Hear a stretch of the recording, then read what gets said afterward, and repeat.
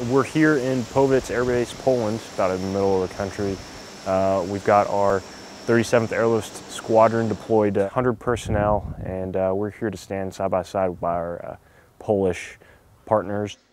We've uh, actually been doing this since 2014, so it's actually become quite regular for us. Uh, we come about twice a year uh, so for us, it's almost second nature. Uh, the Poles are wonderful. Uh, they've been one of our strongest NATO allies uh, since 1999, and I mean, I feel very welcome here.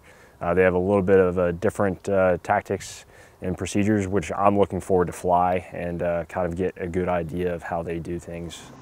some of the things that a lot of us actually don't get to experience in the C-130J community is that we're operating with models of the C-130 that are way older. So actually operating with them, flying with them, and talking uh, is something that a lot of us haven't had the opportunity to experience, and we're doing that in this rotation.